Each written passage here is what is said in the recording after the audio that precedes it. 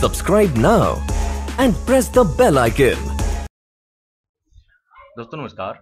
जैसा कि आज आप यहाँ पे स्क्रीन पे देख रहे हैं, जो रेड कलर के यहाँ पे कुछ एक मॉडल बने हुए हैं सैंपल तो दोस्तों, देखिए नॉर्मली मैं बात करूँगा कि आप ये बना सकते हैं। जनरली आप बना सकते हैं। देखिए, बिल्कुल इजी शेप है, बिल्कुल आसान है, लेकिन कुछ इसमें से कॉम्प्लिकेटेड है, जैसे स्फेयर हो गया, ठीक है डोम हो गया टोरस हो गया, ये इस टाइप का जियोडेस्क ठीक है स्फेयर हो गया। ये हो गया। इस टाइप के जो कुछ एक शेप है वो आप ड्रॉ नहीं कर पाते तो उसके लिए मैं आपको बताता हूँ कि क्या आप यूज़ करें, कौन सी प्लगइन यूज़ करें।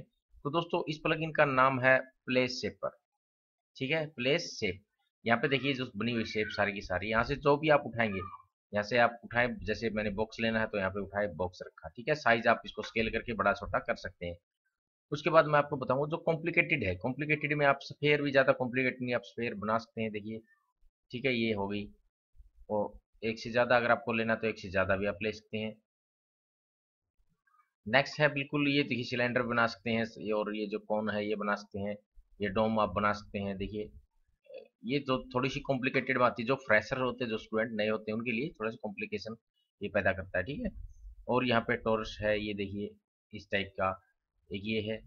ये जो शेप है, ये थोड़ी कॉम्प्लिकेटेड है, बाकी जो जो रेक्टेंगल और ये है ट्रेंगुलर ये बिल्कुल आप इजीली बना सकते हैं, कोई दिक्कत नहीं आएगी।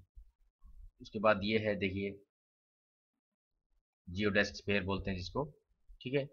उसके बाद है जियो डेस्क डोम आप बना सकते हैं। ये ज़्यादा दिक्कत करती है तो आप इसको एक सेप प्लगइन है, जिसका नाम है प्लेस सेप्स और दोस्तों, इसको आप यहाँ से एक्सटेंशन वेयर हाउस से फ्री डाउनलोड कर सकते हैं इस प्लगइन को। बिल्कुल कोई पैसा कोई चार्जेज नहीं है। फ्री में डाउनलोड करके यूज़ कर सकते हैं। तो दोस्तों, आशा करता हूँ आपको वीडियो आज का जो है अच्छा लगा होगा। और आपको अगर हमारा वीडियो अच्छा लगा है तो प्लीज़ हमारे चैनल को सब्सक्राइब ज़रूर करें।